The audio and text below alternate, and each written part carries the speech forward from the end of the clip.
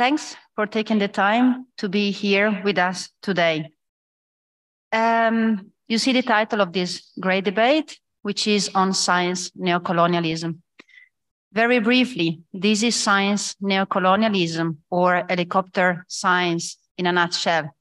It's uh, basically going to other country, taking samples, collecting data, and then going back to own laboratories without involving local researchers. An outline of our great debate this morning. I will give a very brief introduction. My name is Giuliana Panieri, and I'm convening this uh, great debate together with my colleague Robin Pickering.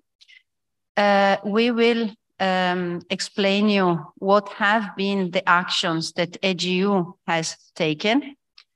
Uh, we will introduce our panelists. We have prepared five questions that uh, uh, we will pose to our panelists and also to the audience, you in the room, but also our members, which are following the great debate online.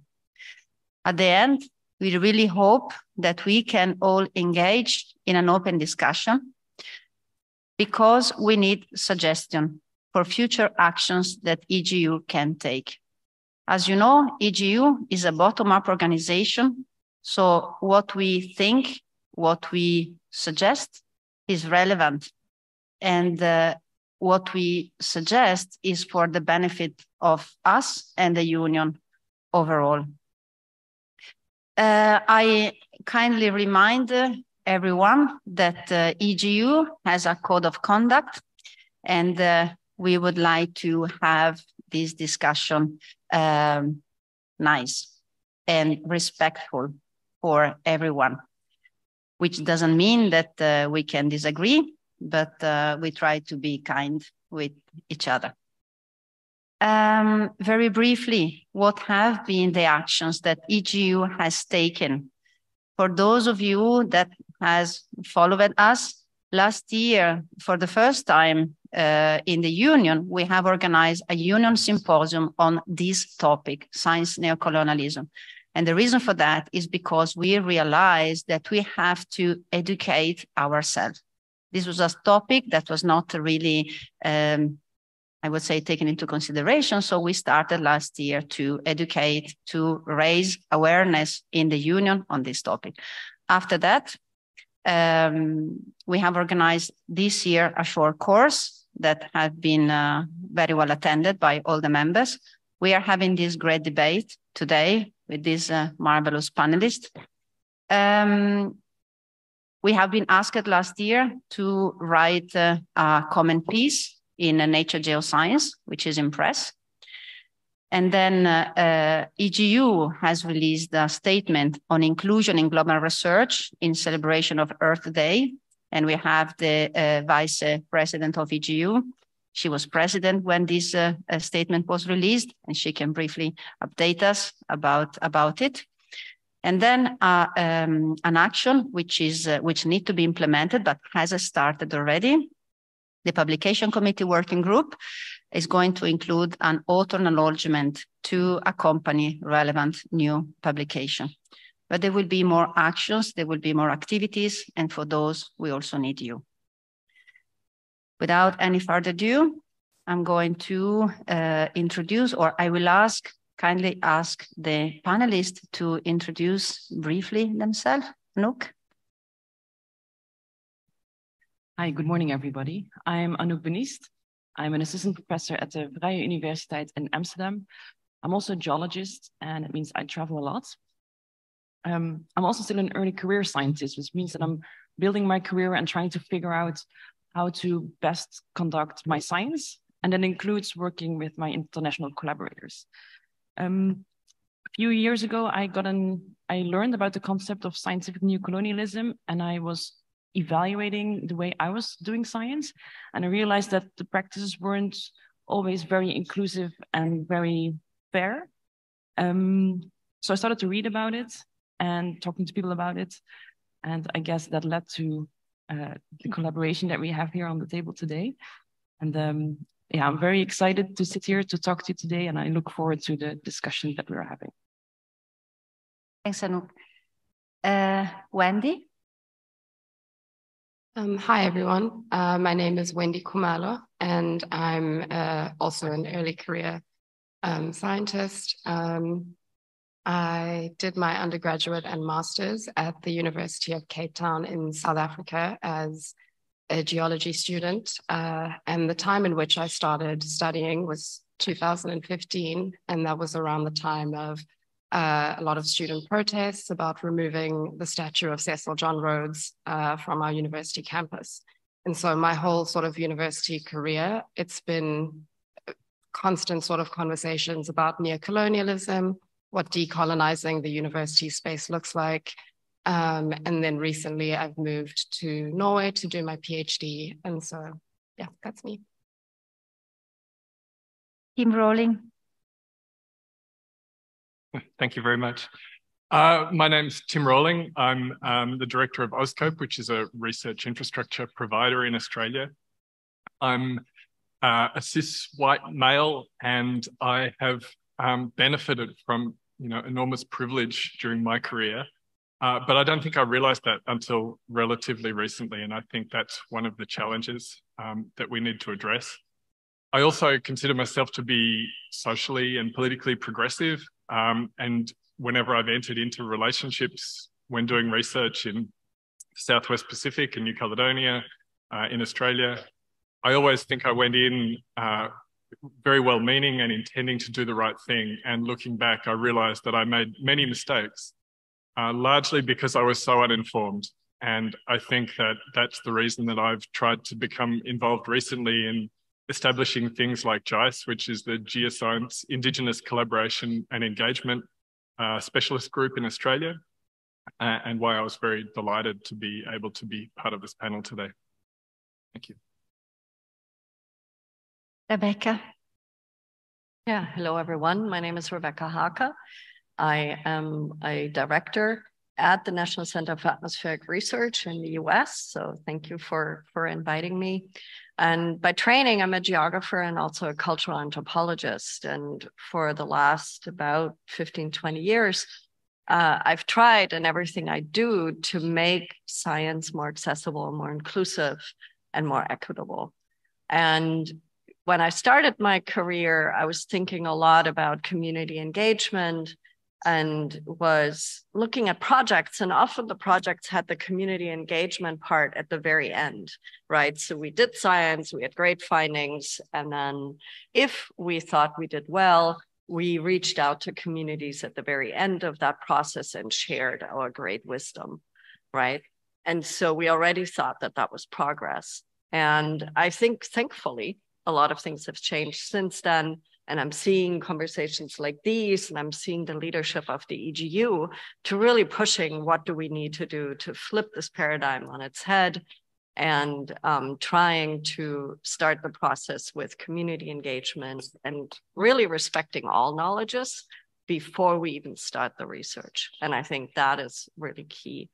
Um, in the US, uh, I am part of a project that I'm incredibly excited about. If you like to look it up, it's called Rising Voices Changing Coastlines.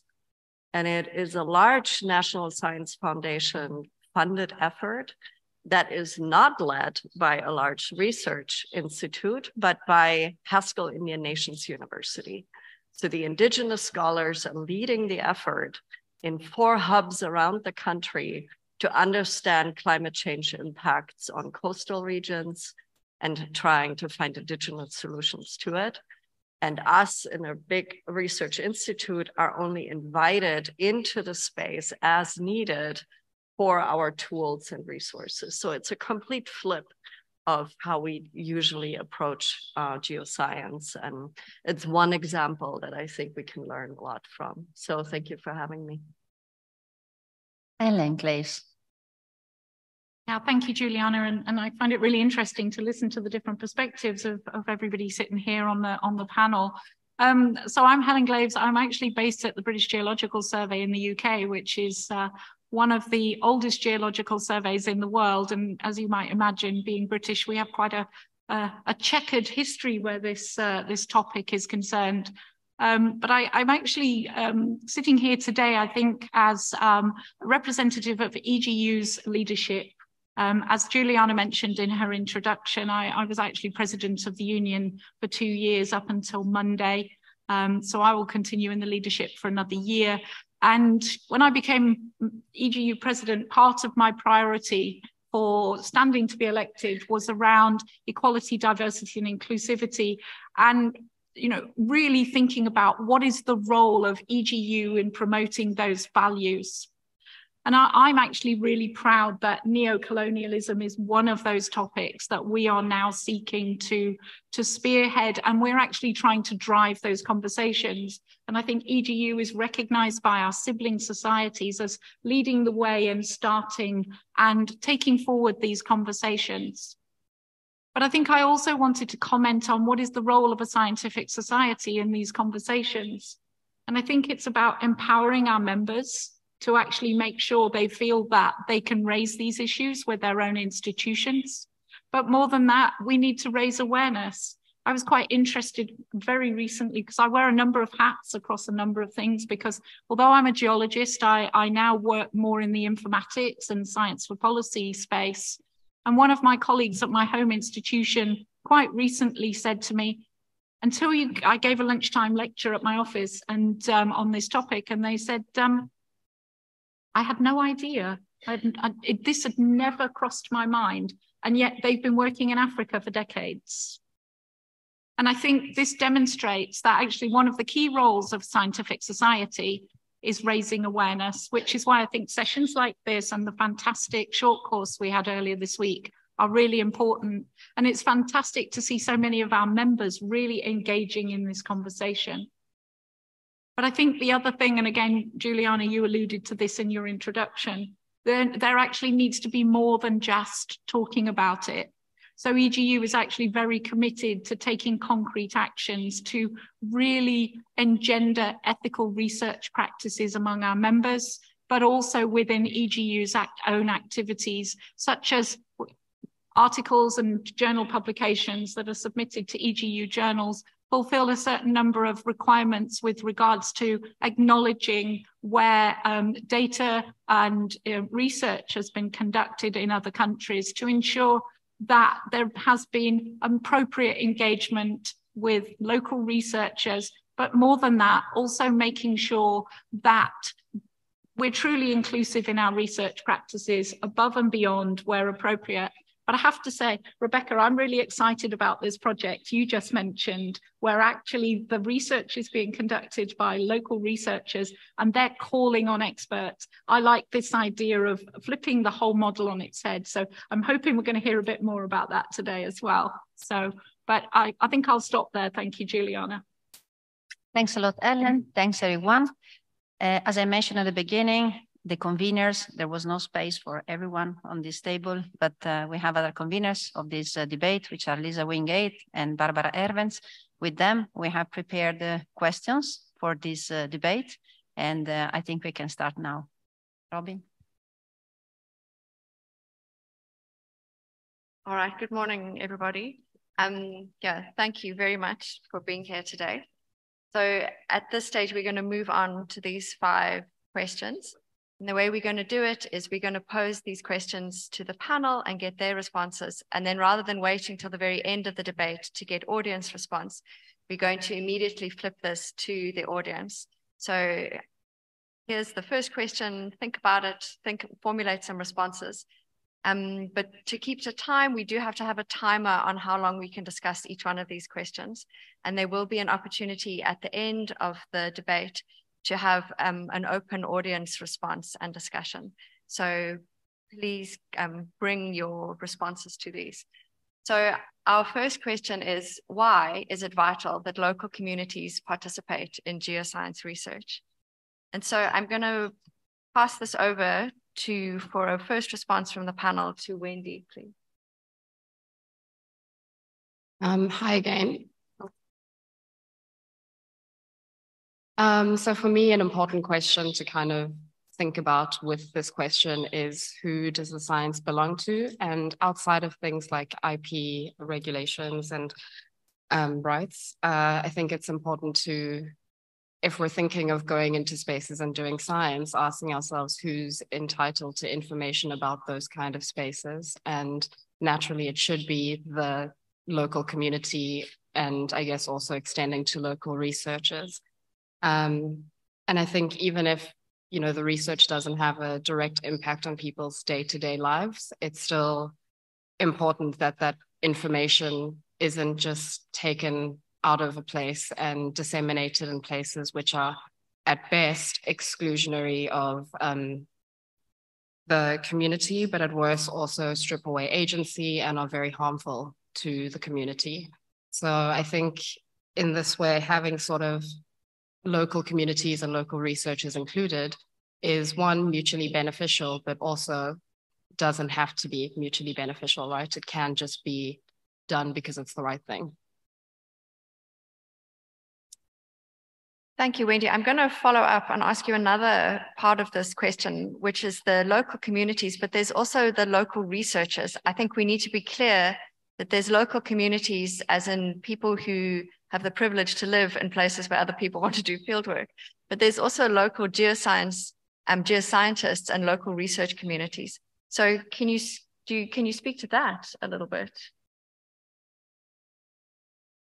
Yeah, I think it's um, in terms of getting local scientists. I think offers obviously a completely different perspective that a lot of the time can be overlooked from someone coming from outside of the space. And I think on top of that, having local scientists helps bridge the gap between how actually you can begin to interact with local communities. And I think it's something that should be led by local researchers because you can't have, for example, me going and telling you how to interact with a community that is not my own. Um, I wouldn't have the I wouldn't be privy to a lot of the knowledge and the way local things are done. So, uh, yeah, that's all. Thank you very much. Um, I'd like to pose the same question to Tim. Tim, can you give us your response, please? Yeah, thanks, Robert. And maybe I'll um, respond to that second part first. I think that there's a risk, there's a challenge in in finding often when you go into a, a foreign place, whether it be within your own country or elsewhere, it's it's often really hard to find the connection into the community that you want to engage with. And I think that there's a risk that when we do go into other countries, for example, as colonial scientists, then it's easy for us to think we're engaging because we're engaging with other colonial scientists within those countries. So, you know, when I worked in New Caledonia, I went straight to the BRGM and, and connected with them, but I wasn't really connecting with local scientists at all. So I think it's it's important to make sure that we take the next step and find those really local communities. I guess the other point I'd make is that um, you know communities that have communities, uh, indigenous communities particularly often have a very different relationship with country. So in Australia, um, the indigenous people uh, were our first geoscientists. You know, they've been observing change in the environment for 60,000 years, and their stories tell of meteorite impacts and tsunamis, and they tell of, uh, you know, inundation of the east coast of Australia post the last glacial. They've been telling these stories, and it's part of their dream time. It's part of their their makeup, and their relationship to the land is so different to ours because we come in as settlers and see it as a commodity and see it as something that we can extract resources from and something we can own.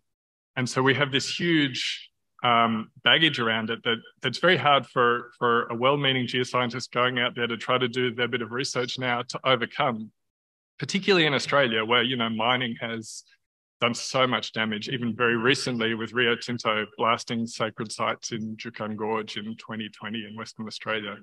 So there's a living history that we have to overcome, and that's very, very difficult. Um, and I think the challenge for us is that we don't understand often that those Indigenous communities have such a different relationship to country, where country is part of the sense of self for that community and it's part of their identity. And they have a, a sort of a care and responsibility relationship with that land rather than a, an ownership and and resource potential relationship. So for us as a colonial researcher stepping into that space, we actually, you know, we, we think of sort of, we look for a Venn diagram as where do our, where do our worlds overlap? And in reality, you know, they're like this. And we have to step right out of our world and into, into that world if we're going to do anything meaningful. And I think that's really uncomfortable for us and really challenging. And often we don't know how to do it. So I think that's that's the thing we need to address.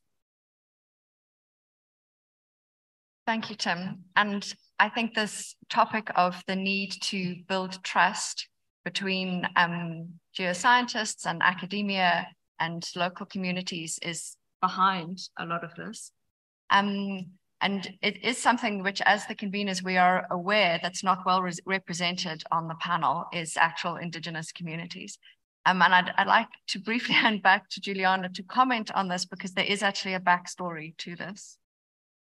Yeah, we when we started to uh, well, everything started from last year when we started to think which might be the actions that we could take or real uh, um, concrete actions. So we discussed about having a great debate, and we wanted to have uh, indigenous and local community speaking, and also scientists speaking, local scientists speaking in this uh, uh, debate. And uh, we tried quite hard for a couple of months to reach different uh, organization, starting from the top, so leadership, down to uh, researchers, so indigenous researchers, but uh, we have received many no's. And that's why we don't have them here today. And we, of course, were quite um, sad, but we didn't really understand why they refused this invitation.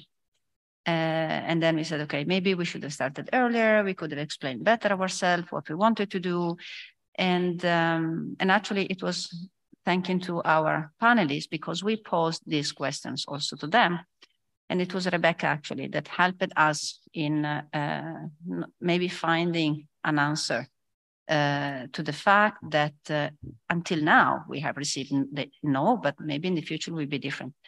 Um, I think that Robin mentioned a, a key word here, which is building trust. This is what on this is a topic. No, it's not a topic, but this is something on which we have to work. And uh, we, thanks to Rebecca, we thought, okay, maybe we need to educate ourselves first because there are plenty of resources everywhere. So it's better to start with that. And then when we are ready, when we know more, then maybe we, we get the trust from uh, uh, our colleagues, right, Rebecca?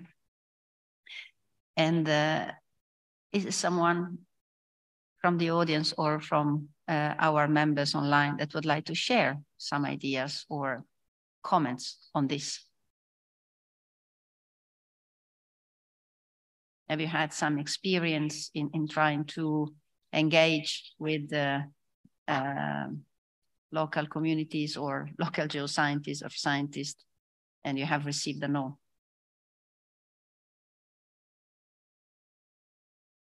Yes, please. If you can say your name, that would be really nice. Yeah, sure. Thanks. Uh, thanks for the, the organization of this debate. I'm Tanguy Jonville uh, from the CNRS. Uh, it's more of a question and of a comment. Uh, when you try to reach uh, local researchers, have you tried to reach them only on the topic of neocolonialism or also on their research because that might be part of the answer here. And I also wonder uh, whether there has been some like specific plan for them to pay the fee that is still quite high, maybe for some local community representatives. Thanks.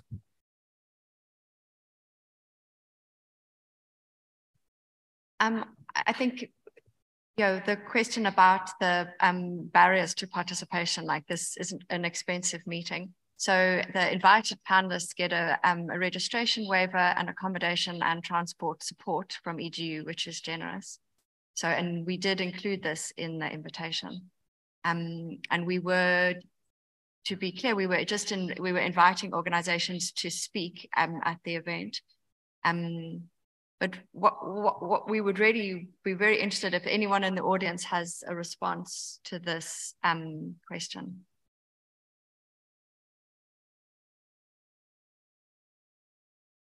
Well, I have not tried yet, so maybe we should try more to, yeah. Yes, please just go up to the Yeah. microphone. And if you can please tell us your name, um, your institution. Uh, hello, uh, my name is Daniel. I come from Ecuador um, and I'm a volcanologist. I have been working with Euro European and well, global North researchers for a long time in Ecuador. And um, my view about this question is, um, um, it, is it, but why, why is it vital for, for who? I, I would say who, who is it vital for that communities participate? Is it vital for research or for researchers or for themselves? And this is something important to understand first. And then um, I would say if that is it vital for local communities, um, I think that um, something uh, useful would is that we first go and ask them if it is if this research would be vital for them or not. Once we ask, we can start to invite them to participate and be part of this uh, research if they want. Maybe they don't care. They don't. They are not interested in in our research. Most of the time, they will be. But if they are not, it's okay. We we just need to start with a conversation with them and asking them what how they feel about what we would like to do in in their spaces.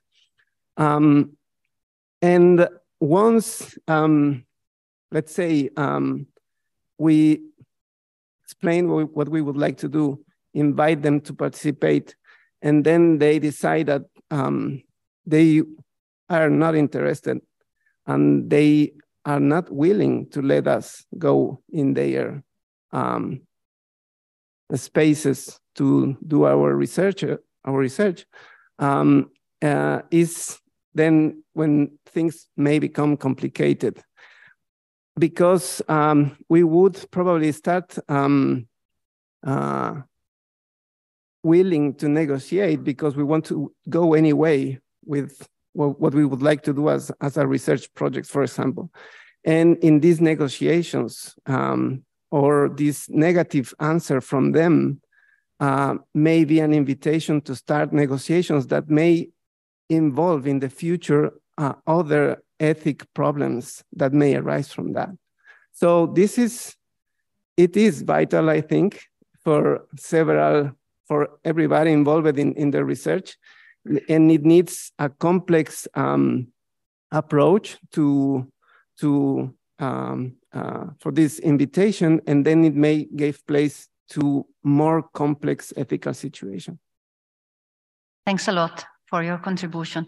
I think we have another question or a comment, but then we have to move to the next and we can keep some discussion at the, at the end, but uh, please. Hi, I'm Andrea Walter. I'm a Canadian European researcher who recently moved to New Zealand, Aotearoa, um, and have been working quite closely with Maori iwi or tribes. Um, and so their short answer to why, you know, the, the no question is capacity. They just do not have the capacity to engage with scientists who, as the previous commenter said, may not even be serving their needs. Um, in my experience, they're also more interested in long term engagement, whereas science has been typically very short sighted and short term, particularly with funding.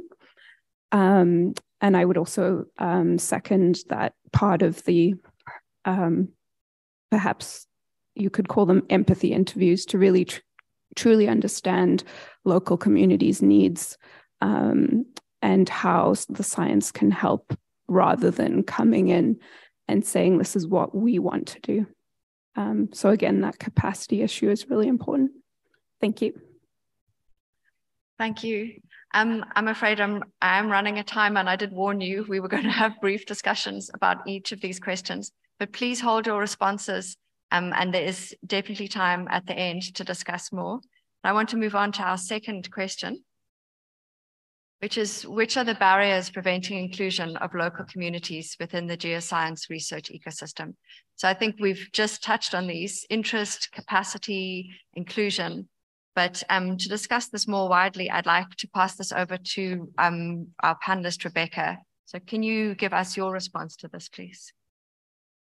Yeah, I think we already had, uh, as you say, a really good point um, here. And I think there's there's so many issues that come to mind. I think fundamentally, um, in the Western kind of way that we're trained, uh, we're often not trained, and we simply have no no ability currently to engage and to understand other ways of knowing and respecting other knowledges.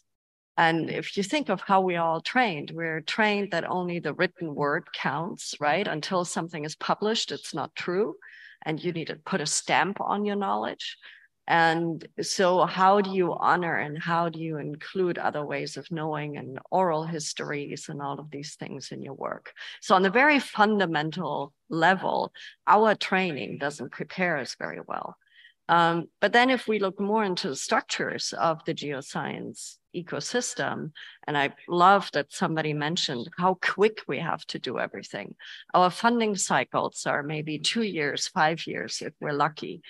Building trust and building relationships takes a long time. And so I work a lot with early career researchers, right? And I have a lot of researchers who are very interested in this type of work.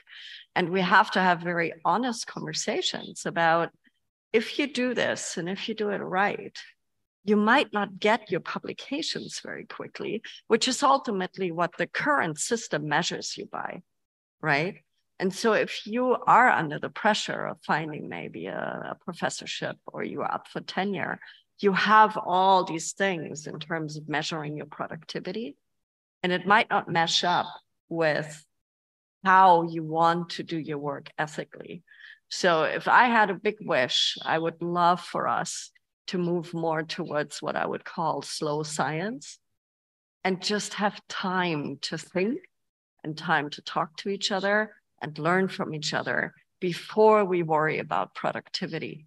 But in the current ecosystem that we're in, I don't think that's well supported. Thank you, Rebecca. Um, I'd like to pose the same question back to Wendy. Can you give us a response to this? Yeah, I think um, on a more sort of flat level, there's barriers ranging from, you know, blatant racism or preconceived ideas of the said communities, of local communities, and whether or not they're deserving of agency. And I think a lot of the time we can sort of revert ourselves when we're trying to be progressive into these ideas of the perfect local community, which is in harmony with its environment. And those are the kind of um, communities we need to be listening to and who deserves to be uplifted. But ultimately, they don't need to be performing this, you know, perfect minority or perfect local community for us. Um, and on top of that, I think uh, to also, I think, bring in what the first question was, I think, from Daniel, and talking about what happens when these communities aren't interested and when they don't want the research. And I think if we're going to give people the agency and say, do you want us to come in here and work and do on research on this area? We can't now take that agency away because they don't agree, because they don't want the research to happen. And while obviously there's still space for conversation, but I think we can't remove that agency away because we got the wrong answer. If local communities don't want you there, they don't want you there. Um, but yeah, I think to add on on what Rebecca said as well, I think there's a, we're not sort of sure how to interact with public expertise. The way we look at expertise is you study for a certain amount of years, you publish the papers, you work with other researchers, but we don't actually have a way of interacting with what local knowledge is and what local expertise and sort of smaller fields or whatever fields might look like. And so how do you begin to bridge that between what we know as academia and what local people know as knowledge? Thank you. Um, uh, do any of the other panelists want to jump in and respond to this?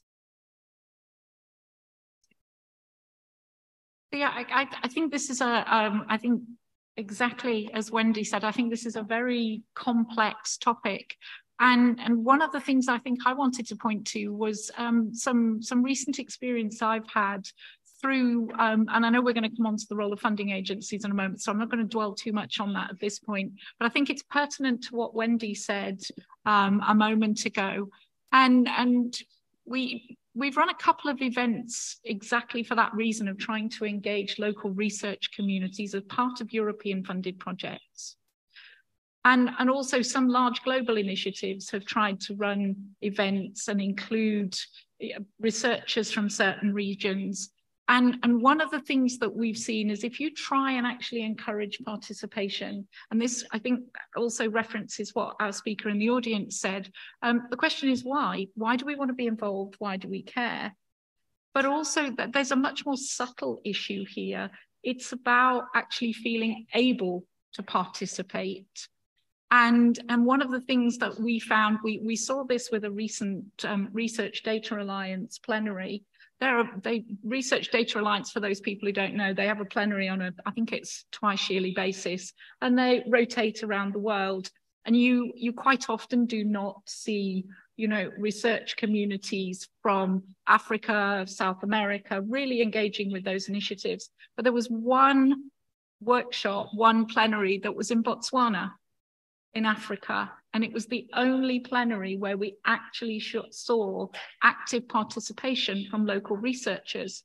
The main reason for this was because they didn't have the resources. They didn't, and going back to the comment from the audience, a real barrier to inclusion was capacity. And I think this is something, and I do want to come back to this when we talk about the role of funding agencies, but I really, I, what Wendy just said as well really resonates, but what was said in the audience, I think also resonates. It's, it's about feeling that they can, they want to be involved, they can be involved, but also having actually the ability to be involved and feeling that it's relevant for them. And I think the fact that you get engagement involvement if you provide the right environment in the right space with the right intention, then that's when you're really empowering that involvement because otherwise it becomes a barrier to inclusion, I think. Yes, th thank you, Helen. And I, I can add um, capacity is a bit of a vague word, but I think we can really call this it's um, actual cash flow and funding. If your funding is in a weak currency like Botswanan Pula, which is one of the strongest currencies on the continent, travel is very expensive and becomes a barrier. If needing to get a visa can take months and you get turned down at the last minute. So these are the um, not just barriers, but this is the lived experience of many, many researchers. Actually, probably it's not a minority experience, really. Um, we would now like to open this question to the audience. So please just come up to the microphone and fight it out when you get there. Um, hi, I'm Daniela. Um, Chilean based in UK, and why not speak that one of the barriers is our own ego, because in the sense that we believe we are the higher, like the higher knowledge and things like that, and we love collaboration and i think many of us have spoke, spoke with each other and offer collaborations and co-authorships and publish together and all that. Why not offer these local communities the authorship they deserve and not just put them in the acknowledged part thank you then yeah next hi i'm james university of reading uh, i traveled here without needing to use a visa uh, last year, a colleague from my university got funding to attend EGU, but their visa was not accepted because they're from a country in Southeast Asia. Does EGU have a mechanism to record when this happens and report it to politicians that this has happened? So this is this is actually a very timely comment because we've had a number of um, meetings with our sibling societies around the world, and one of the number one topics on that um, on the agenda for that meeting is how can we address this issue of visas for attending meetings such as this, but also more widely for researchers because it's restricting the, the mobility of certain groups or, of researchers and, and researchers in dis, different um, geographical regions Um, in answer, a direct answer to the question is yes, we do record those um, instances where someone applies for a visa. We quite often ask for a letter of invitation in, in support of a visa application for coming to EGU. And um, so this is something that is, we have data on this, but actually EGU intends to be far more proactive than this. We're actually now talking about engaging with different agencies and different bodies that have an interest. So not just researchers, not just meeting organizers, but travel bureaus, but also getting a common voice that we can actually speak to the government agencies and say that, you know, for a variety of reasons, not just scientific participation, you know, this is a real barrier to inclusion. So the, the, the visa issue is a priority right now for EGU, in fact.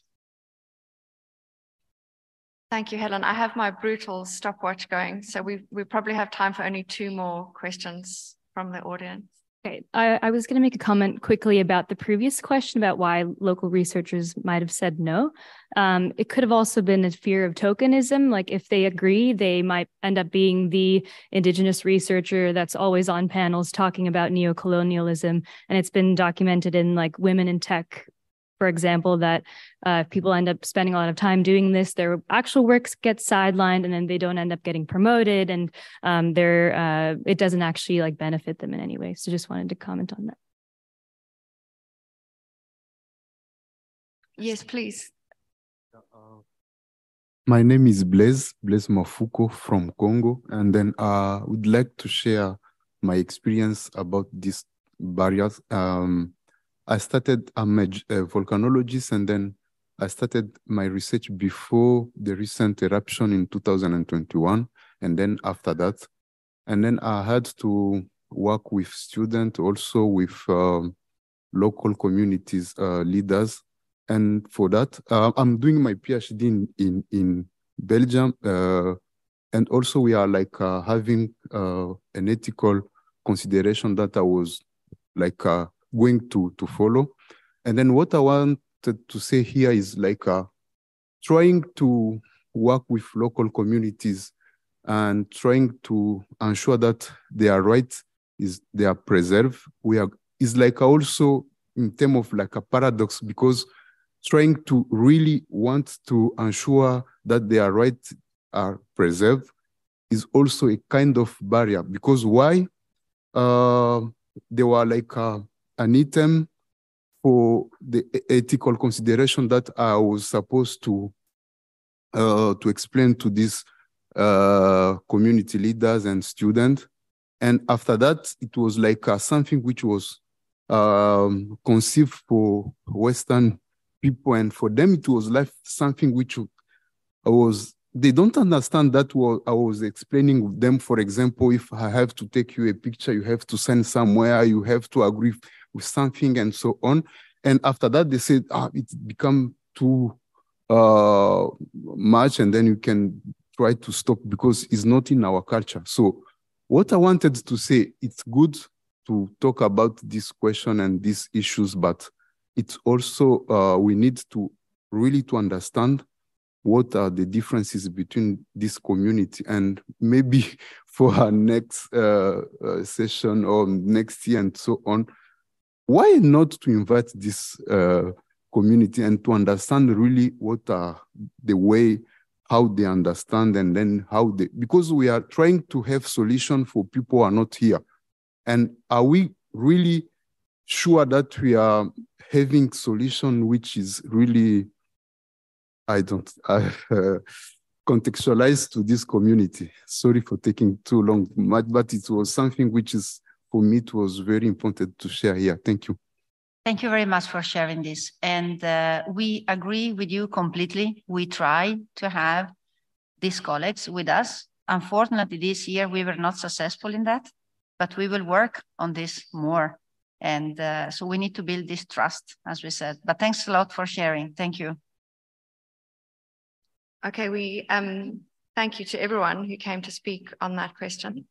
So we're going to move to our third one, which is what are the tools and mechanisms to advocate and amplify the voices and recognition of local knowledge in geoscience research?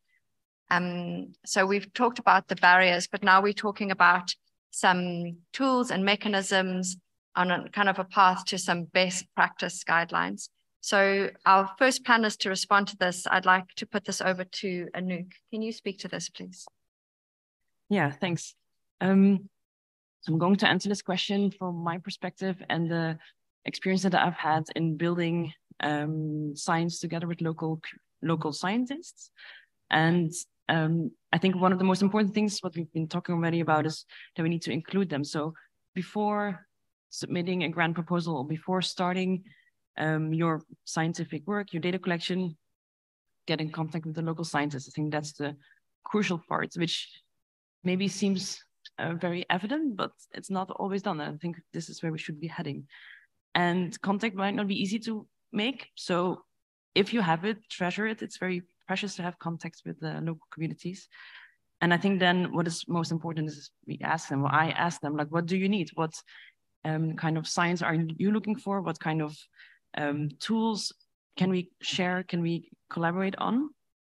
Um, I think it's really important to understand what the local scientists um, yeah, are looking for and put their needs maybe first and not mine, um, which kind of requires a change in perspective. And I think one of the sort of the tools that institutions or what my institution offers um, is signing things like a memorandum of understanding, which is sort of a legal contract which um, allows both parties to work on the same data and it gives the local scientist the um, the ownership and also the um, the kind of the authority to hold me accountable for the data that I use and the way I use it and the way I publish it.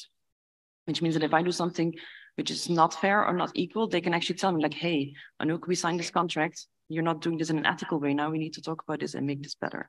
So for me, these kind of um, agreements, um, I find them very useful. And it also, I have the impression that the, the people I collaborate with, they, um, they feel, um, well, I have the impression that we are at uh, more equal levels and they actually talk to me about things when they disagree with me. So they feel um, equal to me when I do my science. So I think we should look for these kind of very practical solutions um, to include them as um, like full scientists, which they are, of course, um, yeah, when we are working outside of our home countries.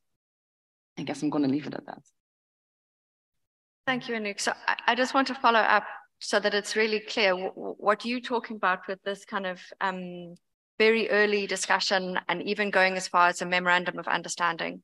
This is between yourself as a geoscientist and other geoscientists in the country where you want to go. Exactly. Yeah. So it's a very kind of very local, as in between me and the local scientists agreement. It's a very small act, I would say, because it only affects me and the local scientists, but it has a big impact in the end on how the science is conducted and how it will be brought into the world. Um, and then just another follow-up question. So from your experience, you're doing this in the very early stages of building a research project. So the kind of direction that that research is going in, um, are you saying that you're working with you and your collaborators um, are working together from these early stages? Yes. Yeah. So before I even go into the field, I make sure that these that the contact is there, that we both understand the conditions under which we conduct our data acquisitions and our science. Um, and then the memorandum of understanding is preferably signed before, yeah. yeah. Um, so I'm really keeping her on the spot. Can you, um, this is, it sounds so positive, but how, can I ask you how it's gone? Like, has it gone well? Has it gone badly? Can you speak to that? So you mean the the signing of the thing itself? It's gone well. It's actually a good question because it's a bureaucratic procedure which takes long, unfortunately. So in one case, it took more than a year from, but this is on the institutional level that it took very long to find the right people to sign it. But once it was signed, everything was very fast. So it's still in our institutions sometimes that we can, yeah, I think we can speed things up. Yeah. Thank you. Um, I'd like to ask um, Tim to respond to this question as well, please. Um, thank you. Yeah, I, I second Anouk's points. Um, and as a research infrastructure provider, I guess we try to find ways that we can um, ensure that people who use our infrastructures engage with local communities when they're doing that. And look, to be honest, it's really hard and we, we don't quite know the right way to do that yet. So we are trying to write into contracts uh, that that researchers are bound by when they use our research infrastructure statements that ensure that they engage meaningfully with local communities. Um, but I'll be honest, it's it's very new and it's hard, and it's hard to get the lawyers to engage on it, and it's hard to get the wording right uh, on our contracts to make it meaningful and not tokenistic. Um, so I think that is a challenge, but it's it's an opportunity as well. Um, I think that finding long-term funding for groups that operate in this space within Indigenous communities um, is really important as well. So there's a there's a, a, a program in Australia called uh, Indigenous Rangers, um, and these are, are, groups of Indigenous people who monitor environmental change and they uh, do ecological sampling and, and various other pieces of work in the oceans and um, in coastal regions particularly. Uh, and finding long-term funding for these groups to um, provide a real mechanism for researchers who come in, as we said, on these really short timescales where we've got a three-year grant we want to pop in and do something and then pop out. But to make sure that there are local communities that are operating with long-term secure funding, I think is, is a real um, opportunity as well. Um, and I think there's an appetite for that within government, certainly in Australia at the moment.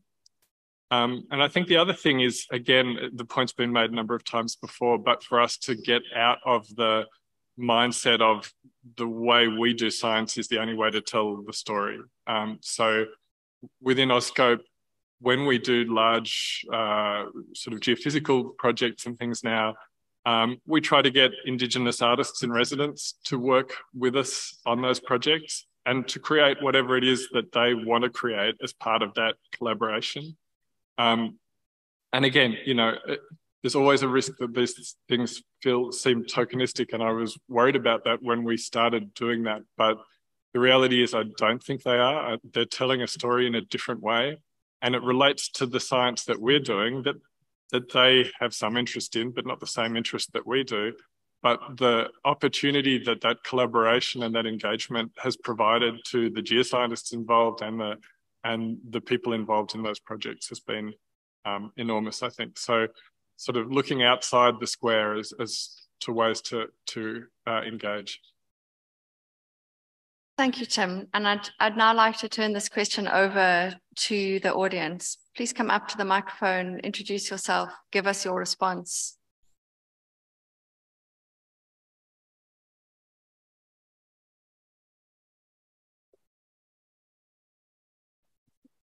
Hello, Fiona Johnson from UNSW in Australia. Um, I think one tool, but it actually comes back to the barriers as well that we've seen recently is we were invited to the Cook Islands last year um, to do some science expo, you know, outreach kind of work. But while we were there, we met with the climate change department, and and they see researchers coming all the time and there being no benefit at all. And so they've decided to to turn it on their head and essentially they're developing the research strategy in partnership with some, you know, with some partners um, and then there's ethics approval boards as well. So I think it's a two prong approach. But it also gets back to the barriers because their climate change department for the whole country has five staff in it. And so, you know, that that process has been really slow because of capacity. And, and we were talking before, you were talking before about monetary capacity. But actually, I think one of the biggest impacts of that monetary capacity comes in time capacity that that people don't have enough time in their day in local communities. And and it comes back to these ideas of being invited onto panels and that taking away from other time that time is is really finite more than money in some ways. And so i think that is a really big barrier. Thank you. Hello everyone I am uh, Hajar Shukrani. I am a PhD student from Morocco. I do a co-tutelle thesis as well as in France in Institut Agro Montpellier, CIRAD. And I summarize a little bit some tools and mechanisms, and I would also answer the first two questions. So first of all, I think we should all be transparent. What is the level of participation? When you want to uh, ask people to participate, do you mean you want to inform them? Do you want, do you mean you want to consult them or to concertate with them? So this is the first uh, step. What is the level of the participation you're seeking from these local communities? As well as, uh, like, for example, uh, when I started my PhD, I went to the field and a farmer told me, whoa, I, I think you're here collecting data and just uh, leaving us like uh, the rest of the researchers did.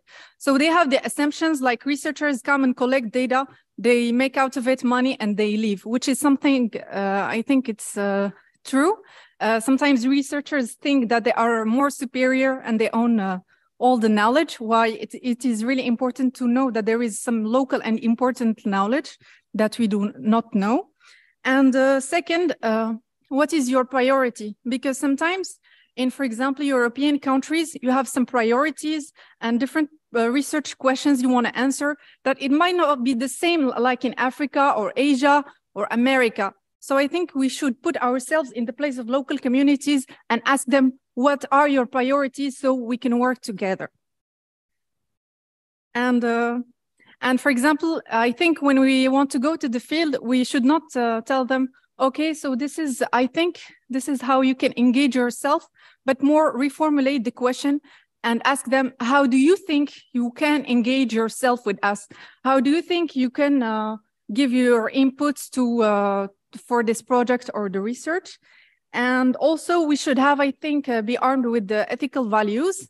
I am glad that uh, like uh, in February, I had a workshop at Belgium in the University, uh, University Catholique de Louvain, and it was about the ethical dilemmas. Sometimes we go to the field and we forget that uh, the territory is not, uh, the field is not a virgin territory. There are cultures, there are religions, there are many different things, and we come and we try to impose ourselves to the other people. So we should be uh, conscious about the, all the differences and uh, these diversities. And uh, last but not least, I think we should all have uh, like humility and we should know that when we go to the field, we are also a subject of research of the local communities.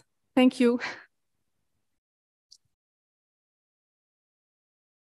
Yeah, thanks a lot for sharing with, uh, with us your thought. Just one uh, very quick comment. Um, I, I, I, suspect that in many of our universities, our students are taking ethic course. It would be nice to add this topic uh, instead of just adding uh, ethics on how to publish, how to treat the data, and, and stuff like that, but also having this topic in the course ethic, which we provide to the students in the different university. Um, yes, please. Thank you very much. My name is uh, Simone. I am half Ecuadorian, half German, so have always moved within the both worlds getting to see the best and the worst.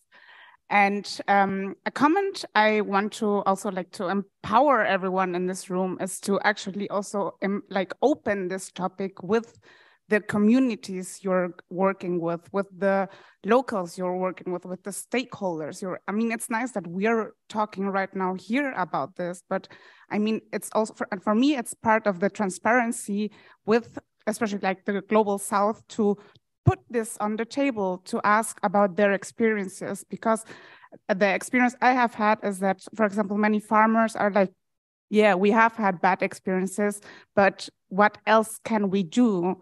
And there's where I see myself not just like a researcher, but also like a, a human being who is just like invading, being there for a certain um, amount of time to empower them to say you have a voice you can decide and vote. And even like when you're having a bad experience say it talk about it put it on the table and don't just go on with your life and just like let everything happen and and not like uh, be able to to say anything.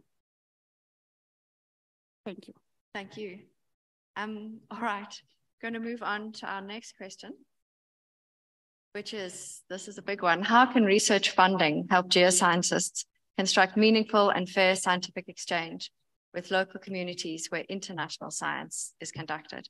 And I think, again, I want to stress that by local communities, we really mean two things. Um, the local geoscience communities and the local people who just happen to be living there. So I'm going to hand this one back over to the EGU Vice President, to Helen. So can you give us your response to this, please? Yeah, sure. Thank you, Robin.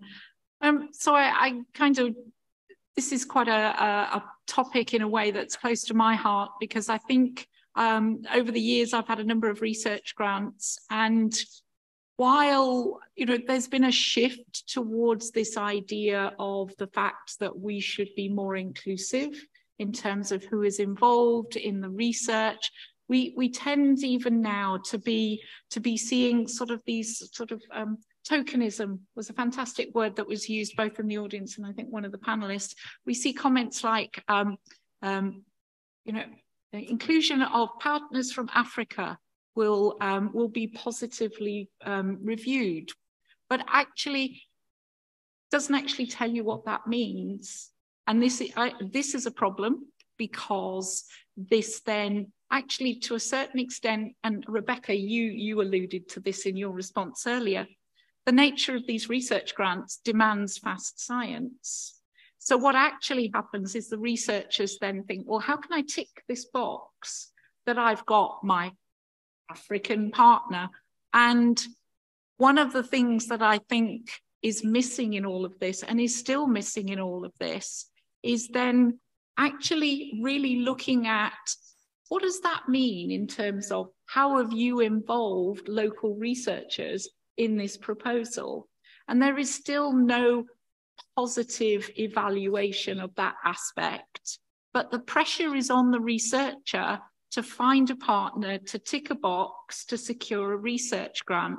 And while we still have this paradigm of fast research and ticking boxes without any meaningful evaluation of research grant proposals, we're actually potentially perpetuating neo-colonialism because there's no consideration of how we really include lo the local communities in the research. We're just being encouraged to tick a box, find a partner, but actually many of the evaluation processes, and in fact, I, I, won't mention any names, but I have recently been involved in a review panel for a set of proposals where the question was simply to the reviewers, could you please comment about the makeup of the research com community that will conduct this research with particular reference to confirm the inclusion of a partner from the Global South? That was it. That was the total totality of that evaluation of that aspect of the research.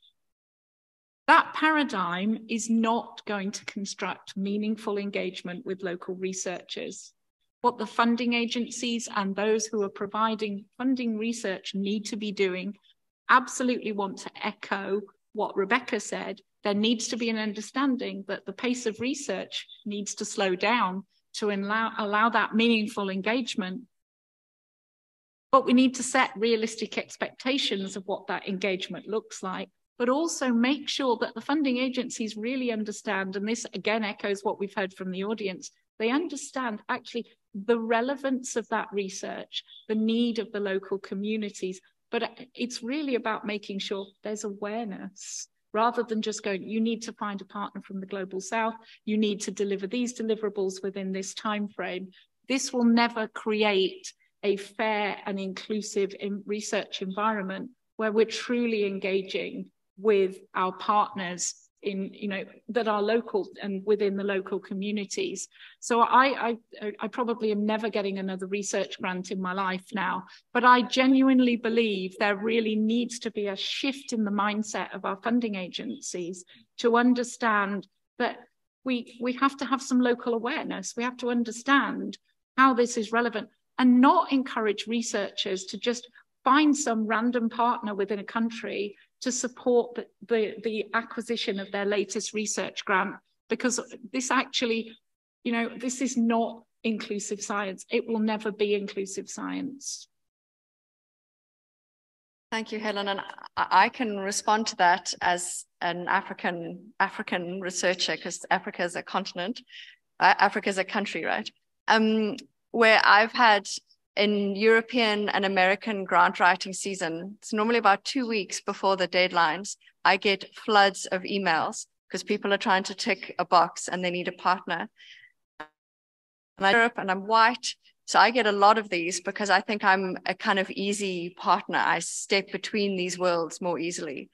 So um, yes, back to Anouk's comment of like a year of um, discussion and interaction building up towards a co-created proposal is a lovely way of approaching a best practice. An email two weeks before the deadline is basically not. Um, does do any of the other panelists want to respond to this? Rebecca, do you have something to say? Um, yeah, maybe just building on it. So in, in 2021, I did a rotation at the National Science Foundation, which is one of the largest funding agencies in the United States, because I really wanted to see the other side of where the money comes from. And so I served as a program officer there and I was invited to contribute to a new solicitation, so like a grant opportunity. And um, with my colleagues, we developed what I think it was one of the first requirements uh, for a grant application to include a community engagement plan. And it needed to be more than the checkbox or calling you uh, and, and a week before the grant is due but it really had to be developed together with wherever you were going and whoever you were engaging and um, for the united states. It could have been maybe like a local community. It could be an indigenous community. It could be some work abroad. And it needed to be backed up with letters of collaboration from a tribe or from the communities. And that will be evaluated by the panelists. And we had a long discussion about who needs to then be on the review panel and, and look at these criteria. It cannot be the usual crowd that we usually invite to review research uh, proposals. So I think there is a shift happening. It's very slow, um, but I think the intent is there. It's it's just going to take a lot of time. I just wanted to uh, bring a couple of personal experience. Um, last year, actually, during the Union Symposium, we had two indigenous colleagues from uh, the Chiquitano local community in Mato Grosso, Brazil. And the reason for that, because at the time I had a project with uh, those indigenous colleagues involved. The project is for three years, but it took us almost seven years to build up the trust to have uh, them involved. So it's not something that you do in two weeks. So this means that we really need to educate ourselves at different level, providing courses, sharing information, because the information are there. And uh, we really need to, yeah, put a little bit of effort in that. And then I wanted to comment briefly on what Rebecca just said about the community engagement plan uh, when you write proposal trying to involve locals, yeah, sometimes it is specifically written community engagement plan, not only outreach. Because very often we just say, okay, let's do just, just provide a couple of seminars to schools and to local community, but it's not that. I mean, this can be part of it, but it's not that. And uh, so we need to start uh, being, being more creative and co-create the knowledge and co-create also these actions with our colleagues. Thank you. We've got a little bit of time to turn this back to the audience. And I just wanted to check in. Is there anything coming through online? I do have, can you hear me? Can you hear me? We, no. we don't have a mic. There, there is one, it's not related to this uh, question. So there's going to be a general discussion. Yes, okay. So I'll hold it for then. Um, to our online participants, you are more than welcome to respond to these. We'd really like to hear from you as well. But yes, please, at the mic. Hi, um, Rebecca Williams. I'm UK based. And I think one of the most fundamental things our funders can do, or those that I've had experience with engaging with, is to allow us to include um, international um, scientists as actual collaborators. We aren't able to put them on many of our grant proposals as co investigators. They go down as project partners. And with that, the funding doesn't follow. So it's actually really challenging to allow the funding to leave the UK and go to those collaborators. They're seen as some sort of distinct category. And so there I am budgeting on my time budgeting on time for a research associate, but I can't budget on their time. They're expected to give it as an in kind contribution. And that is fundamentally inequitable. And I think that's one of the biggest barriers that we face. We had the GCRF um, funding scheme, the Global Challenges Research Scheme, and that was the first one that we were able to transfer money. Um, there was a huge, fundamentally problematic due diligence process to go through that to uh, demonstrate that those international institutions were um, trustworthy, which is a whole other, I think, um, situation. And in that case, we were able to pay things like the research associates, the collaborators' time, um, money for, for dongles, for internet access, all these kind of research costs that we don't have in our, our privileged position. But that funding scheme's now ended. Um, and that's those um, situations we're not allowed to put on to many of our other um, funding schemes. And that would be my um, my biggest um, request from our bodies if they want us to do equitable international science, which we must do. Thank you. I mean, if you want wanted an example of neo-colonialism, um, I believe we've got something coming through online. I've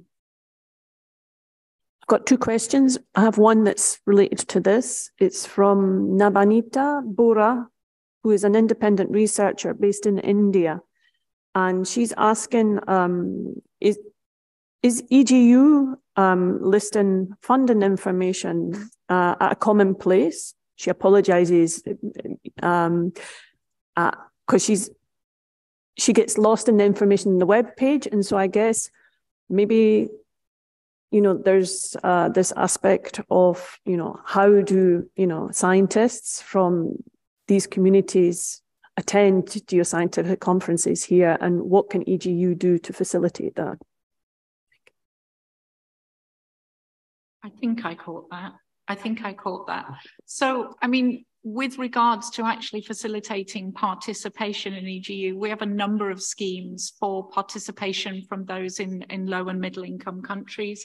We have travel schemes. We have a, in fact, we're working on a new waiver scheme right now, which will allow even more people to be able to apply to participate in our conferences because we are very sensitive to the fact that those in low and middle income countries are not uh, they don't have access to the level of funding that many of us have. And so we, we, we are very cognizant of the need to actually provide some additional support to those who want to attend EGU. But it's also the reason that we are very, very committed to our hybrid format because we, we've noted since we moved to a hybrid format that we are able to we are able we're seeing more participation from those people who don't have access to the resources to be able to come to the meeting. So there are a range of actions that we're seeking to make egu more inclusive. Um, i don't want to digress into the whole hybrid discussion but we are seeing much more participation. So that's another thing that we we want to develop for the future We're a little short on time, but what's the other? You want to do the other question? Yeah, the other one comes from uh, Caroline Johansson, um, and she talks RE perpetuating neocolonialism and shifting funding agency. She says she works for a non-profit organization, Interchange, based in Germany, that receives funding from a European funding agency. Uh, while spreading the word about one of our projects, the Deep Network virtual poster on Friday, there's a plug, um, the president of Pan African Vision for the Environment, PAVE in Nigeria, contacted her with very similar ideas that he wants to implement. They were both excited about the possibility of an intercontinental collaboration, and he was very honest from the beginning that from his side, the funding was the problem. And after looking into options, the difficulty from the German side was also funding. Many of the funding possibilities seemed very much like missionary style uh, projects where the colonial countries can go in, teach the people there, and then we come back to our respective countries. Other ways to get funding for these more inclusive types of uh, collaborations.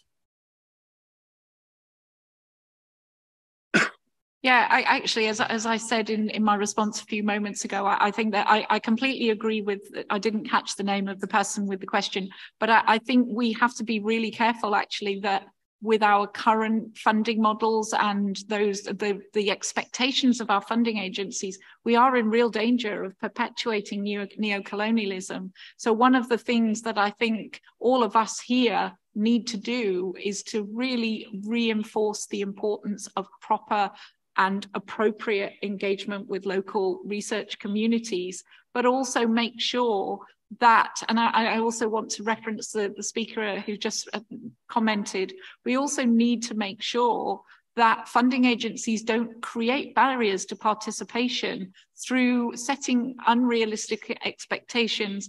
I actually completely recognize what was mentioned about building trust not with the researchers, but actually with the funding agencies.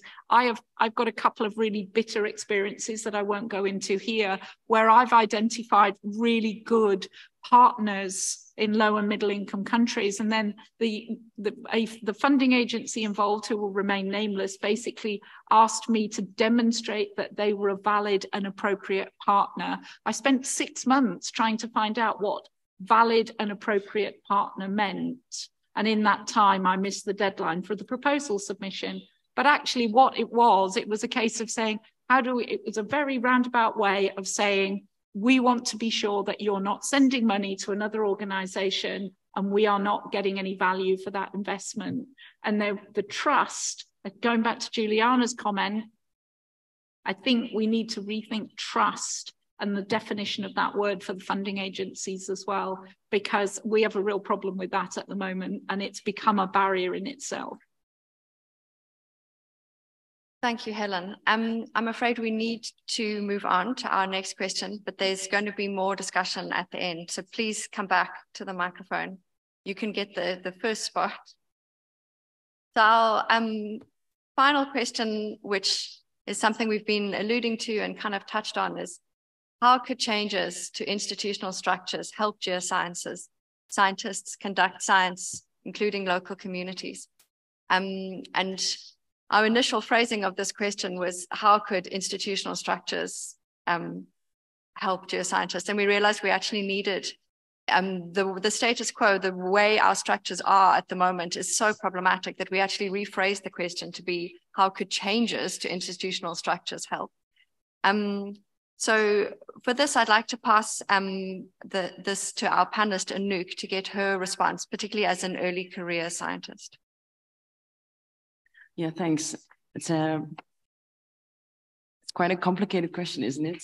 Because the institutional structures they're so solid and static and unmoving. And so if we want to get more equality within our own structures already, I don't know, sometimes I, I don't even know where to begin um, I guess in the end, it all comes down that um, the way we conduct science in uh, in the Western world is all very focused on our benefit and on our what we want to get out of it.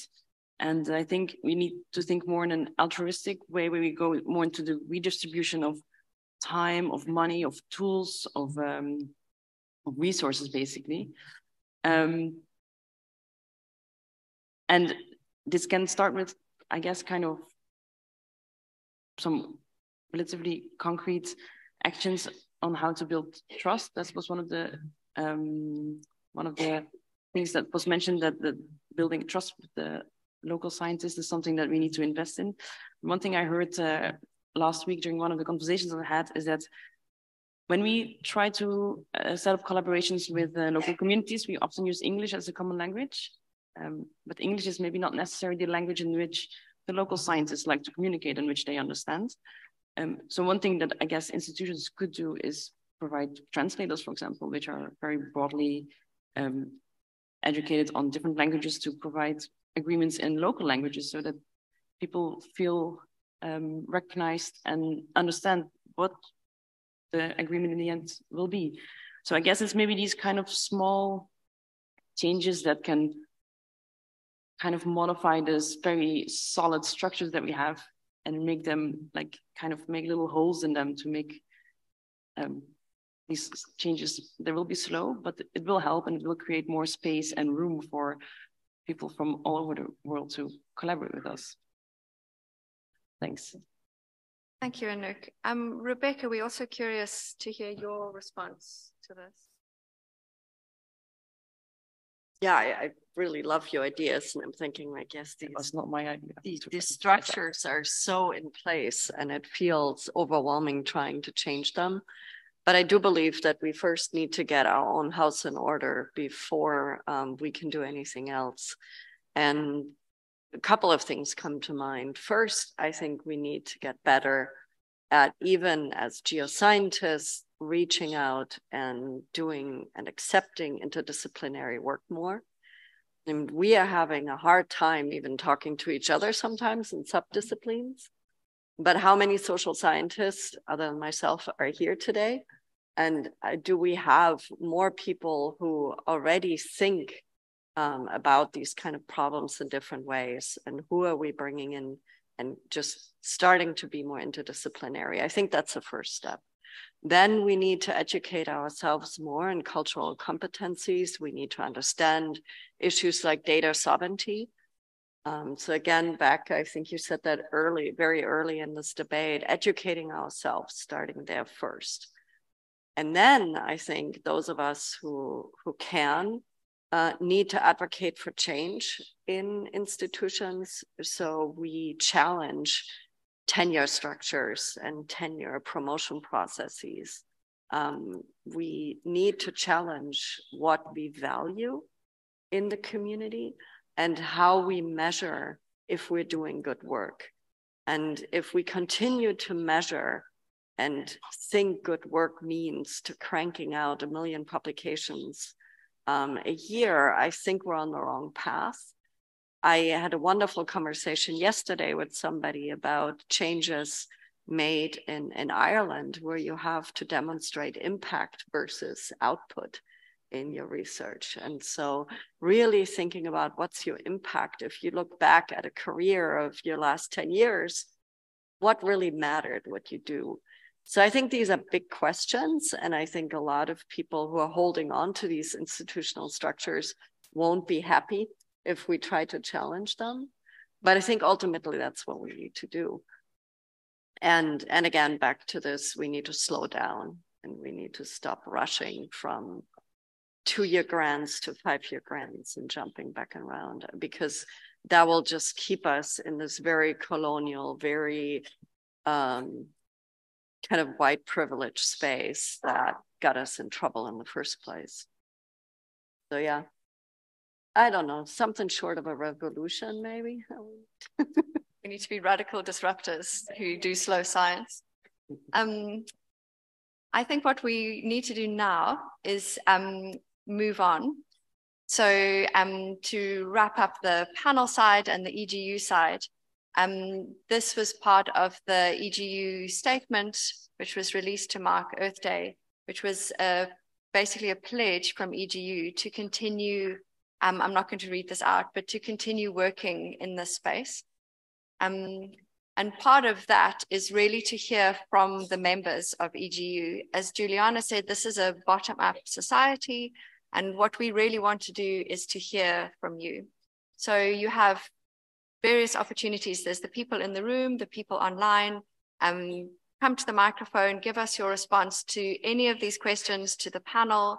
Um, we also have a Slido if you would prefer to make these comments quietly, speaking at a microphone is not for everybody. Um, and I really want to encourage you, don't hold back. We would like all sorts of criticisms, ideas, um, you know, offers to be conveners next year. you know, we really want to hear from you. This is your opportunity to have your say. So the um, we have 20, 25 minutes. The mics are open. Please, can we hear from you? Yes. Um, as I said before, please briefly introduce yourselves and please be mindful to the fact that many people have a say. So this is not your moment for a 10 minutes um, monologue. yeah, sure. Sorry, sorry, sorry. Make so, points. yes. My name is David. Uh, yeah, I work in, in London, that's in Imperial College. I'm also from Ecuador, which is very surprising. Lots of Ecuadorians here. So yeah, I was I was just uh, trying to comment on, on, all the questions, and uh, I I am going to highlight like few words that we're like kind of uh, use all the time here, which which is involve, include, and recognize. So I reckon like that those words already imply like a kind of a different relational powers and roles between European institutions and and and the global south so i don't know i i reckon that it would be nice at some point if uh, institutions from the global south would be able to apply to european grants and then like if if they are if they don't consider only the name of the institution we get the we get the funds and then one of the conditions might be might be yes you can get you can get the money but you should include a european institution so I, I reckon that would be nice. I mean, level the court because we are playing a rigged game. So yeah, just that. Thank you. Thank you. Uh, Maybe hi. we can alternate. Sorry.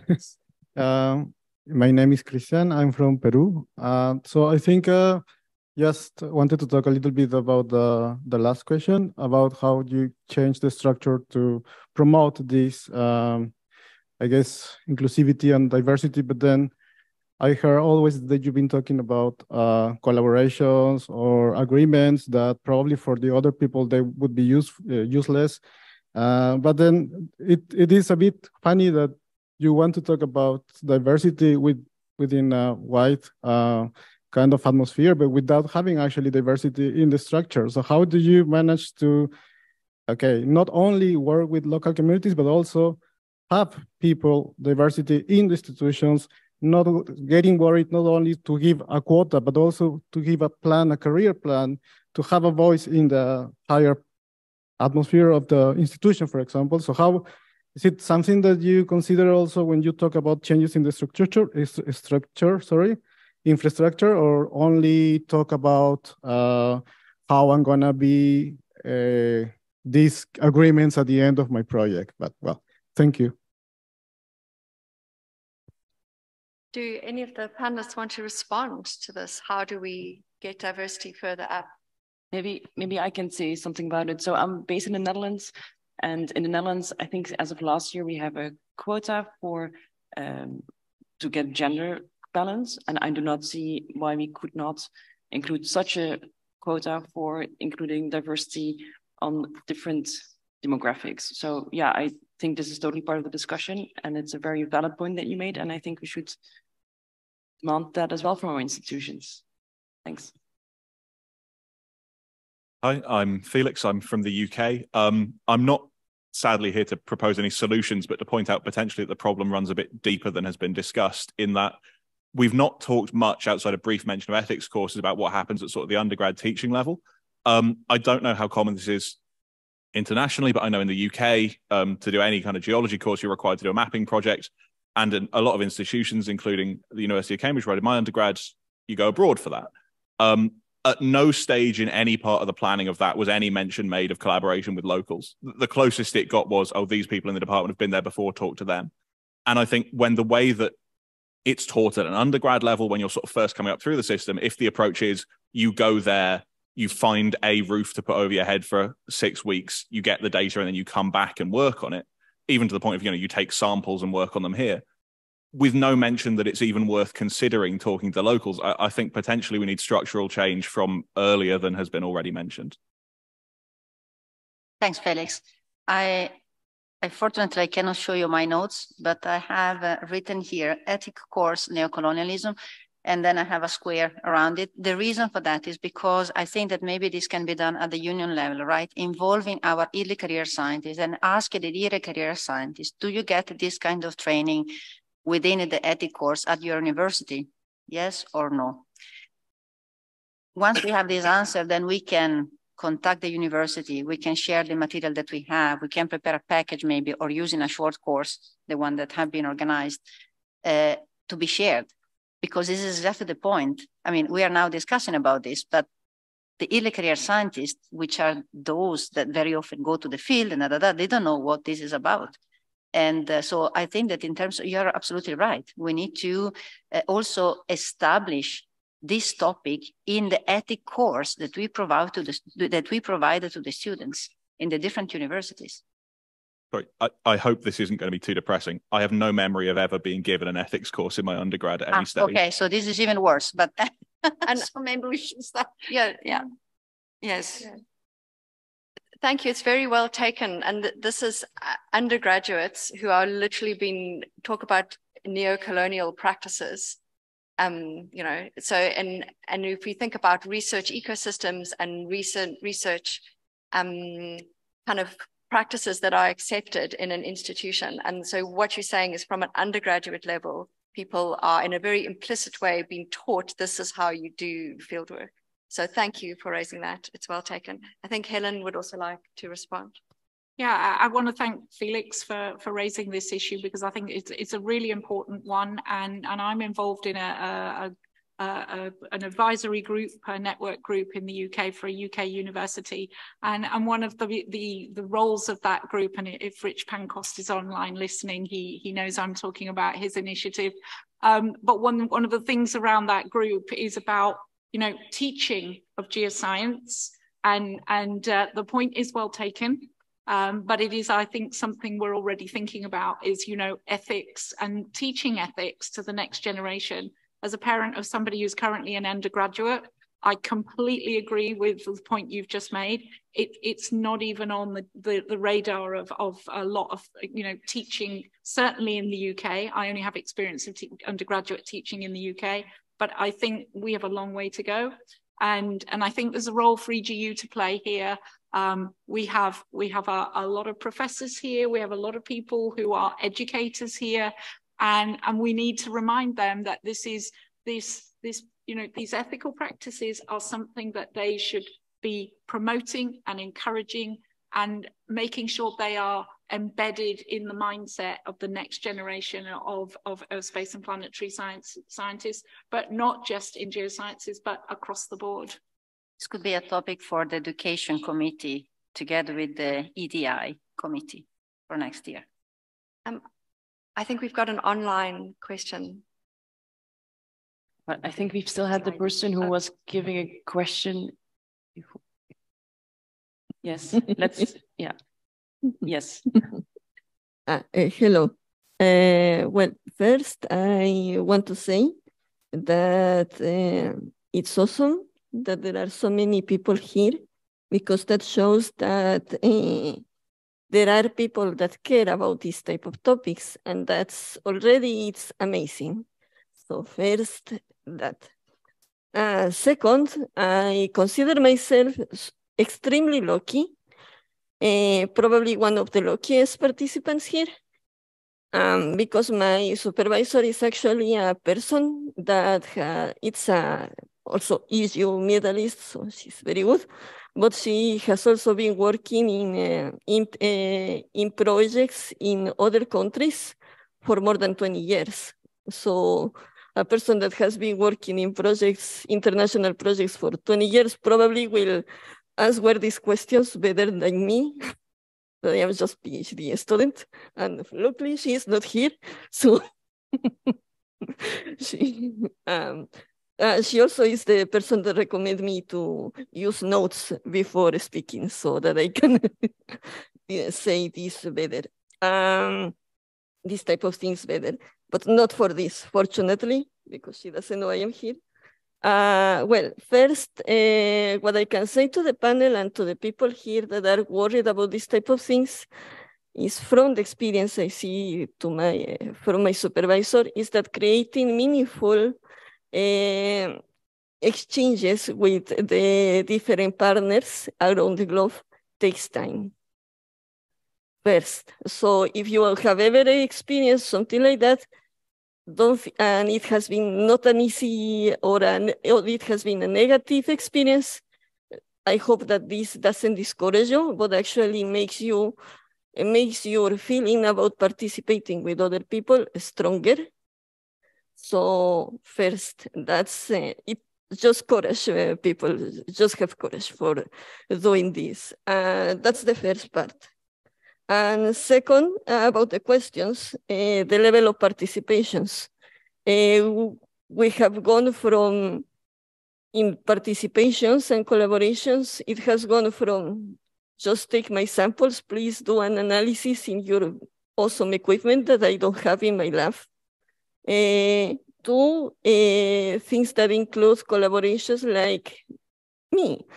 And it's, uh, I am taking an example, what I did in the program that my supervisor and other people from the beautiful Lucé Louvain created, and along with Liège and other universities, long periods of collaboration uh, us to a point where they have programs where uh, young teachers can integrate to science here that come as PhD students, master students, and exchange of students just for short courses or short periods. That helps because once you come here and learn what is possible to do in science, you are a different person. It's a totally different experience to learn science in South America, in uh, Africa, in Asia, and come here. So I encourage you to try to do those type of things. Uh, additionally, tools, mechanism, uh, and participation in projects and money. Well, first, one of the important things that could be nice is how the transfer of knowledge can be applied uh, to different types of things. We have already talked about the students, but also about communities and what that information can be useful for them for the normal activities. And also uh, about coming here, uh, still is the global south. So coming here is an adventure when you are, when there is no proper Schengen agreement done, so you still have to do a lot of the, the documents to come here. Uh, also, uh, uh, yeah, it's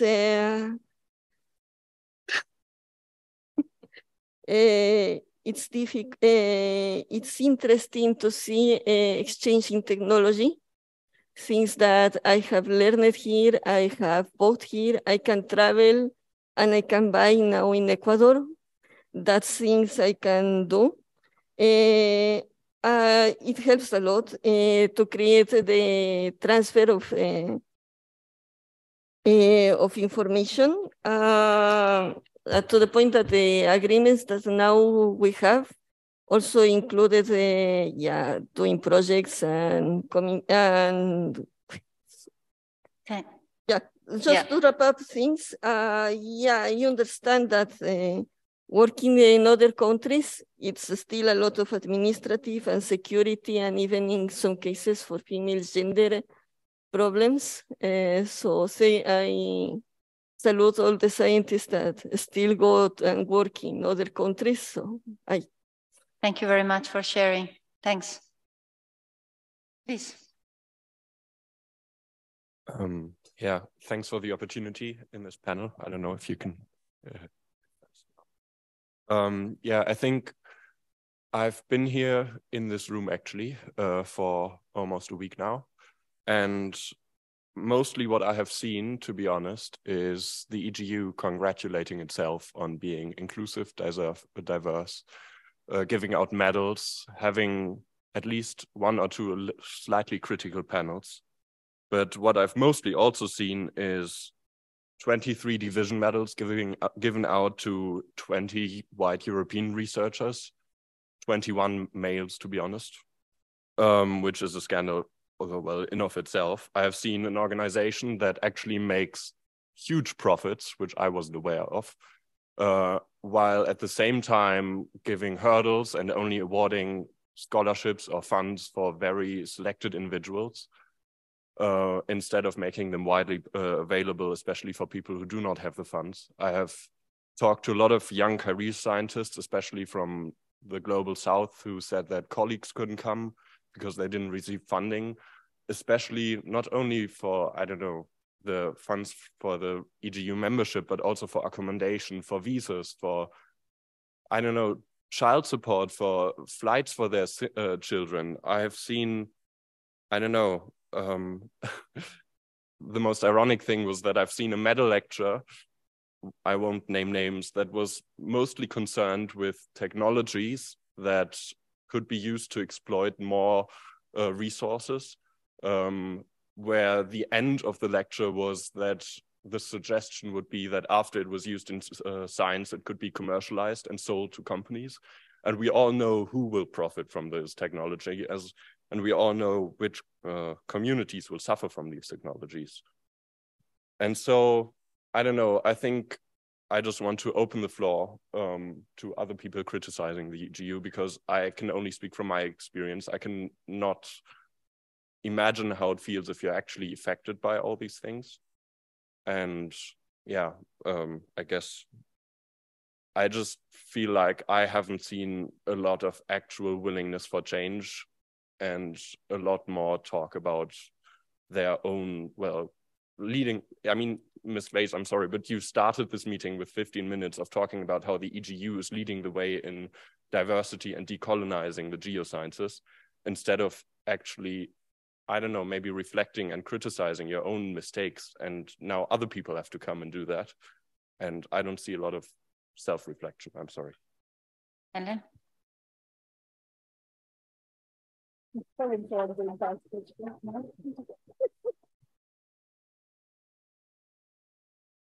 So, so I, I, I actually want to, to thank you for raising a number of these issues because um, they are under constant review by EGU Council. Um, I, I'm, I'm not sure that there is maybe as much transparency about our internal processes as there should be. And in fact, we're, again, we're addressing this. But I want to come to the first point about diversity of our awards and medals, because one of the things that we have been really struggling with is indeed the diversity of our awards and medals. Um, Giuliana knows full well because Giuliana has been on council as, as has Anouk in the past. And one of the biggest problems that we still have with our awards and medals is the diversity that you see of our awards and medals reflects actually the diversity of our nominations. The problem we really have is that unfortunately, even now, those who are nominated for our medals are quite often senior white males. I say this as somebody who received an EGU medal in 2016, I think, Giuliana. And if you if you look at the picture of my award ceremony, I am one of two women on the stage, and it was actually the reason that I stood to become EGU president because I was really unhappy. I've also been a victim of discrimination throughout my career as a woman geoscientist. So I am really passionate about the issues that you've highlighted. And we, we are making changes, but actually we need our members to help us make those changes because diversity of our awards and medals, I absolutely agree with you. I was really unhappy about the diversity of this year's cohort of awards and medals because once again, it is very male dominated. And I was really grateful to one of our citationists for actually raising this because I think it was important once again to flag it. And I'm actually grateful to you because it actually gives me a platform to encourage everyone here to think about nominating your peers if we look at the diversity at this panel, I'm, I'm sorry, Tim, Tim, Tim, you know, we, we're, we're actually sort of not gender diverse in reality, but it doesn't reflect our membership. What it concerns me is that actually it reflects the people in our membership who are truly passionate about these topics. So again, we need to think about engaging more of our membership in these conversations, but also not just those people like us who are really passionate and, and really want to make changes. I also wanted to address your comment about empowering and enabling people to participate in EGU. We have a range of support schemes and we're actually looking at expanding the travel support.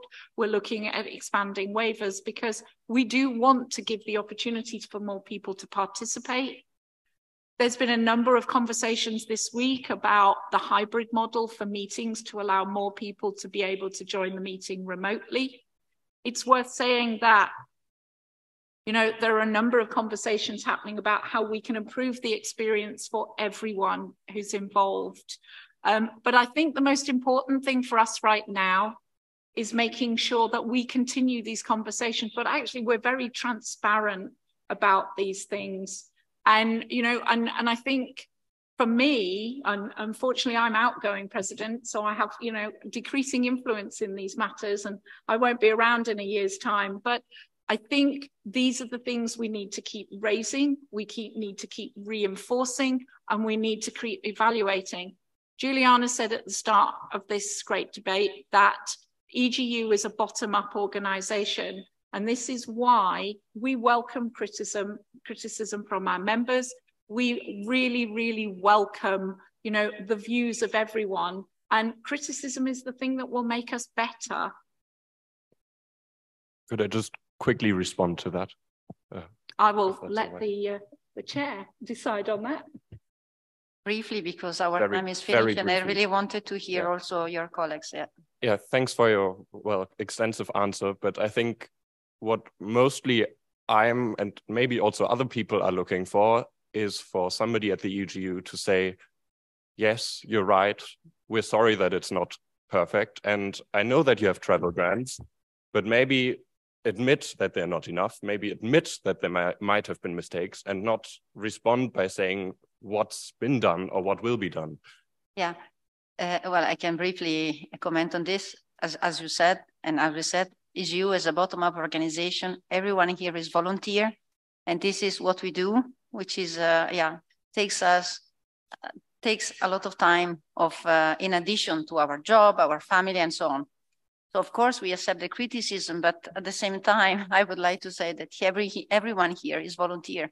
And I can assure you that the division president and, and everyone, the conveners, everyone, it, everyone is really putting quite a lot of effort in all this, in this organization. But yeah, so maybe this should be more visible. Can I just say, Giuliana, I'm more than happy to engage a more extensive conversation with you as well to, to have, you know, some better insight because obviously we have limited time here. Right. Thank you for this discussion and thank you for the criticism. Um, we are out of time, but we have two people at the mic. So please come forward. We really want to hear from you. Uh, thank you. My name is uh, Taru Sandén. I work here in Austria. Um, uh, what I wanted to ask from the, the panelists uh, uh, was whether you have some uh, good examples of uh, increasing inclusion by actually embracing interdisciplinarity. Uh, I work uh, a lot in the field of citizen science, uh, and uh, I've had to step out of my comfort zone very often uh, because I've seen that uh, it's not enough to be an environmental scientist, it's not enough to be a soil scientist. I also need to step into the world of computer science, or I also need to step into the world of understanding individual learning outcomes. So, could you respond to experiences that you've uh, seen uh, how research organizations uh, can improve inclusive uh, including local communities by uh, embracing the interdiscip interdisciplinary uh, way of doing research. Thank you very much. I think what we've done, we've written down your question and we will um, continue in our 2024 program and we will come back to this. But our session is actually out of time now. I can't ask my panelists to respond, but if we can hear from the last person at the mic, thank you.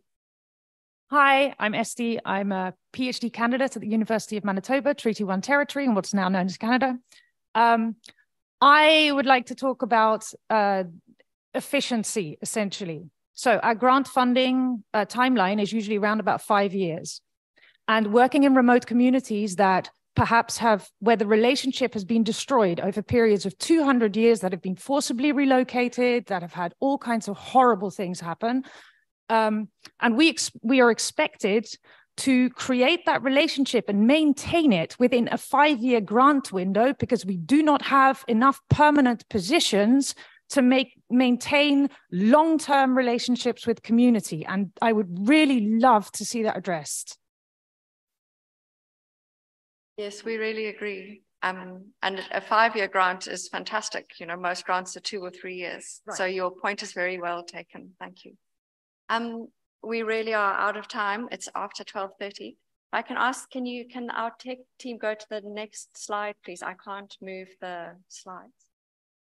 Um, what we would really like to do at this stage is just to say thank you to all of you and particularly thank you um, to the panelists. And I'd really like to thank the conveners, the team. As Giuliana said, this is um, volunteer work. It's not a trivial amount of time and brain power and calling on contacts. So I would really like to thank the panelists for their willingness, their openness and their honesty to come up here and talk to all of you. And I'd particularly like to thank the audience for your responses. And please, yeah, reach out. This is an ongoing conversation and this is not the last time you'll be hearing from us. So thank you.